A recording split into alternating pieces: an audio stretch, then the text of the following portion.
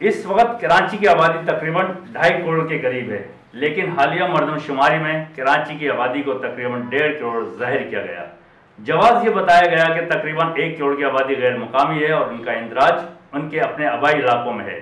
سوال ہی پیدا ہوتا ہے کہ ایک کروڑ لوگ دستیاب ڈیڑھ کروڑ وسائل کے ساتھ کراچی میں رہ رہے ہیں۔ وسائل میں تو کمی ضرور آئے گی لیکن جب وسائل کو بڑھانے کی بات کی جاتی ہے تو کوئی آمادہ نہیں۔ کیا اس پر کوئی تفسیر آپ کرنا چاہیں گے؟ دیکھیے سینسس پہ تو بہت انگلیاں اٹھائی گئی ہیں کہ اگر آپ نے کراچی اگر ڈھائی کروڑ کے قریب ہے اور اسے ڈیڑھ کروڑ کی آبادی دکھا رہے تو یہ سراسر جاتی ہے۔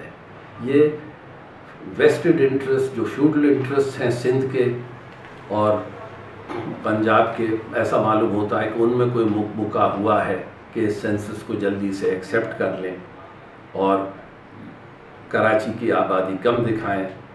مجھے اس سے غرض نہیں کہ ہم اندرون سندھ کے علاقوں کے لیے زیادہ ڈیولپمنٹ کے لیے پیسہ دیتے ہیں، لیکن مردم شماری تو صحیح ہونی چاہیے۔ اس کے اوپر آپ کی ساری پلاننگ ہوتی ہے۔ آپ آبادیوں کو نگیٹ نہیں کر سکتے ہیں۔ اور اس چیز پہ بات ہوئی تھی کہ ہم اسے چیلنج کریں سپریم کورٹ میں۔ ہم یہ نہیں چاہتے تھے کہ کوئی بھی ایسی چیز کی جائے جسٹس وجود الدین صاحب ایسی کوئی چیز نہیں کرنا چاہ رہے تھے، جس سے الیکشن کو پوسپون کیا جائے۔ لیکن یہ ہمارا حق ہے کہ الیکشن کے بعد بھی ہم اس مردم شماری کو چیلنج کر سکتے ہیں، تاکہ حقیقت کی بنیاد پہ اس کو یا تو ٹھیک کیا جائے یا پھر کراچی پہ پھر سے مردم شماری کی جائے، تاکہ جو حقیقتیں ہیں گراؤنڈ ریالٹیز ہیں، جو آبادیاں ادھر بستی ہیں ان سب کو تسلیم کیا جائے، ان کی صحیح تعداد کو تسلیم کیا جائے اور اس سے تاکہ لوگوں کو، لوگوں کے لیے مناسب ڈیولپمنٹ فنڈ ہو اور اگر کسی علاقے میں بیکورڈنس ہے، کوئی پسماندہ علاقہ ہے، اس کے لیے ہم زیادہ کر سکتے ہیں۔